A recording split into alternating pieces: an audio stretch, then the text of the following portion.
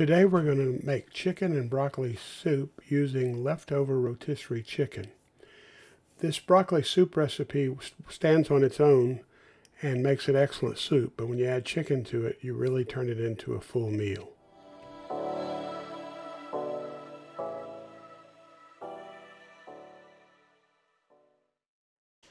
First thing I'm going to do is cut up my ingredients. I'm using a yellow onion, but there's no reason you couldn't use a white onion or a red onion if you prefer.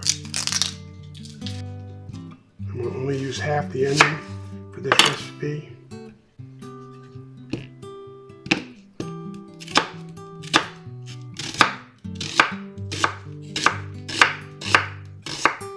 You have to cut it that fine because we're going to use a blender on the final product, but it'll make it cook faster. As you can see, I'm not great at this, but I'm adequate.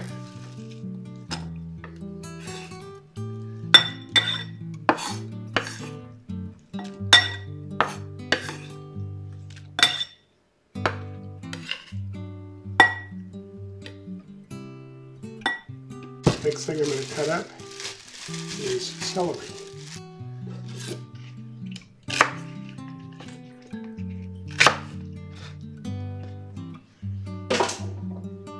Again, doesn't have to be chopped in too fine pieces, so I'm going to just cut it basically.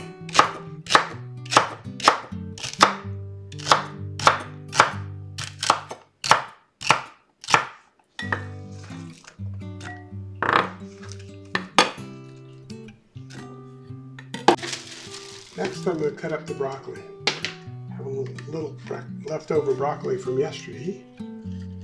So I'm going to take it and cut it into pieces. Now, this is going to be a fairly thick soup. And it kind of depends on how you blend it, how thick or thin it will be. But it will make a difference how big these pieces are when you go to cook them. So cut them into similar size pieces. Before somebody complains about me using my knife edge, I'm going to turn it upside down to do that. I'm using about two heads of broccoli. One of the nice things about this recipe is that there's really no reason not to use the base of the broccoli, the stem of the broccoli. You just need to clean it and cut it up a little bit and it'll add a fair amount of substance to the overall dish and will taste pretty good too. What I usually do is take a peeler and just peel it and cut off the dry end and cut this into smaller pieces since it's going to be hard for it to cook. Since it's thicker, it won't cook quite at the same rate as the flower of the broccoli will. But if you cut it into small enough pieces, it will cook in the 30 minutes or so we're going to cook this. It'll cook and become fairly soft. But it'll be a good addition for flavor to the overall dish. I'll put this in a separate bowl because we're going to cook the broccoli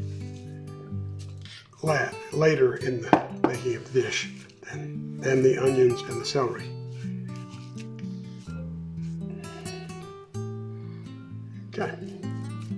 So now we have those two things. Now, not everybody adds garlic to broccoli soup, but I tend to like it.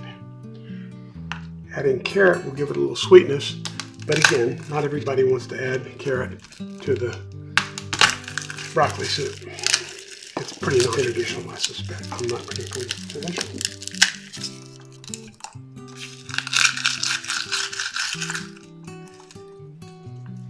This is a nice little garlic peeler.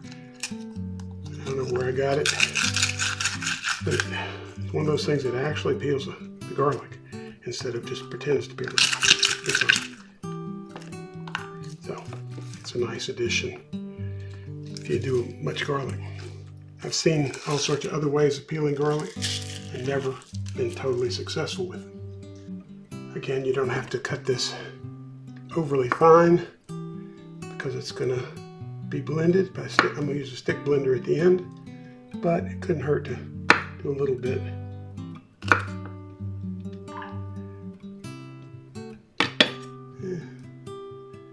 Little brown spots, probably don't have to cut them off, I always do. Makes me feel better about the garlic.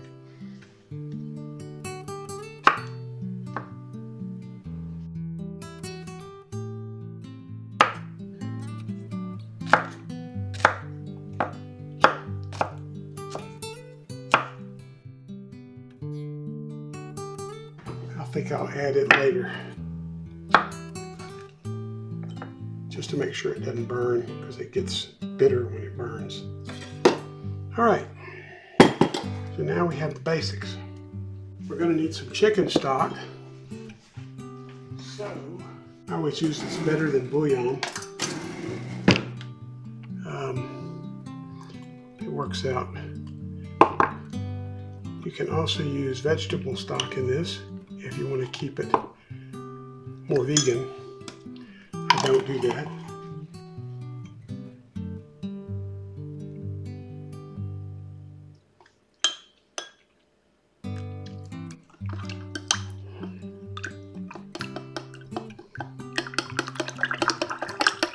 Let that sit for a while.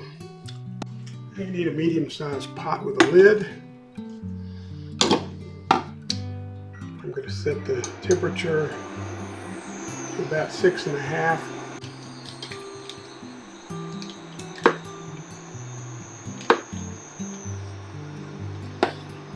You can melt a couple of tablespoons of butter.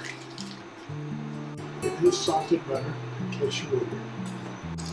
But you never know at the end. Always taste it and see what you think.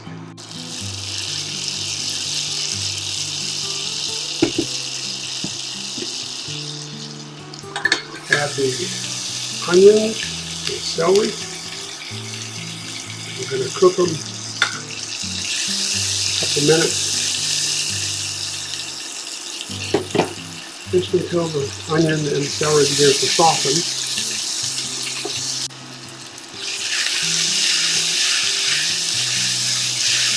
You just have to stir it occasionally to make sure that it doesn't burn.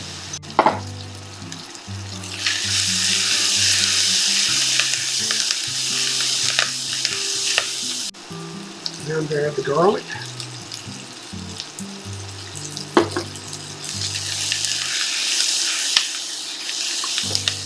Set it for maybe another minute.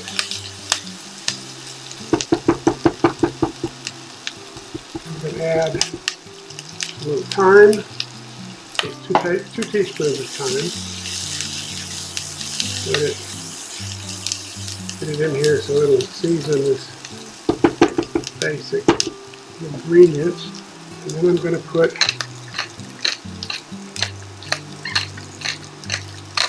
twelve grinds of pepper.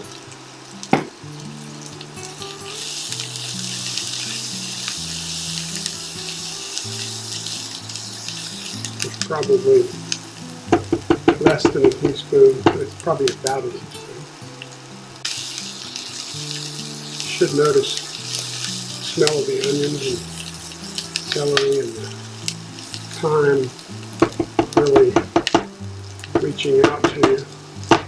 Love the smell of thyme. It's one of my favorite spices. Really good with beef and chicken.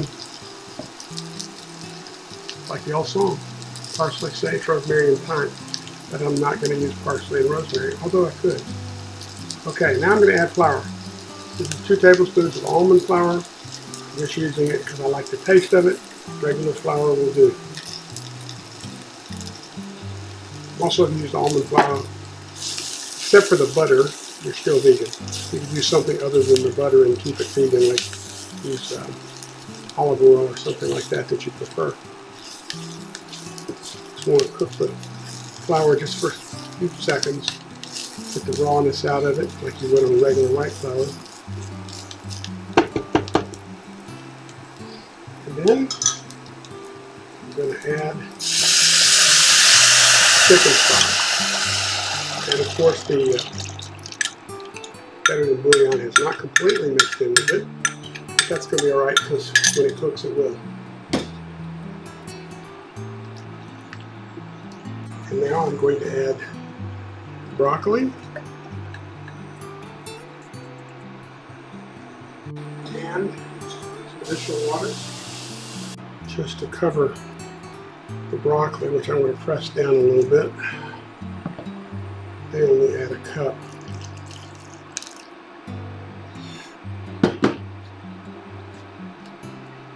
Depending on your pot, you may need to add more. Add, I'm going to add another full two cups just to make sure I cover it. Stir it up a little bit, make sure the broccoli's in there. Cover it, bring it to a boil, and let it cook for 20 minutes. I'm going to turn up the temperature to get it to boil quicker. Bring it up to high. Well, eight and a half on this. Okay, I turned the heat down to two and a half. See how that's going. Now I have some leftover chicken breast from a rotisserie chicken that I'm going to add to this, make it a little bit different from the straight broccoli soup. That should be enough. This is definitely more than two servings. This is probably four servings, but we'll have it later in the week.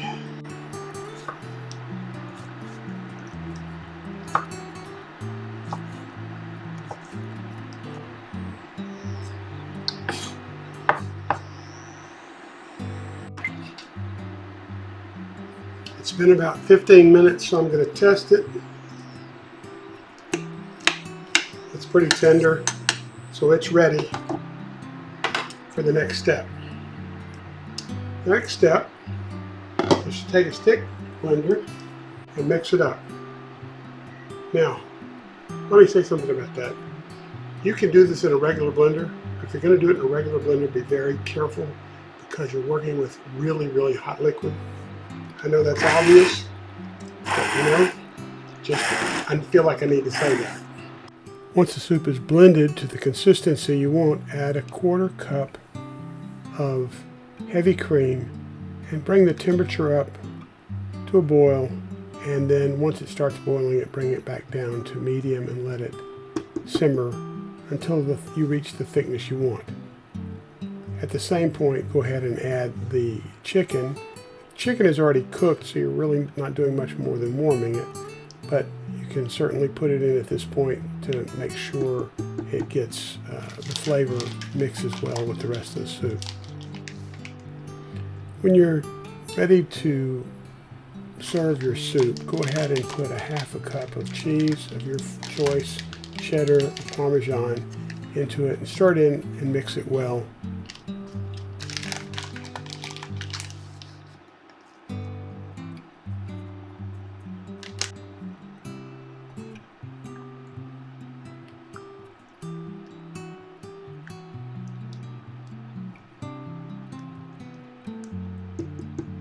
Before you're finished, don't forget to taste it to see if you need to add any additional salt or pepper. I was satisfied with the seasoning in this one. Now serve your soup in a bowl and add some additional cheese if you want. And of course, bread and crackers are nice too. But it's ready to go at this point.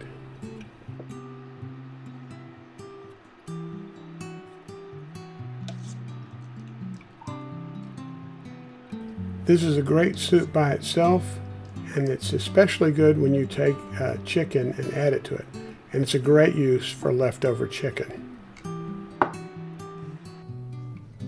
Thank you for watching, and if you like this video, please subscribe. Thank you.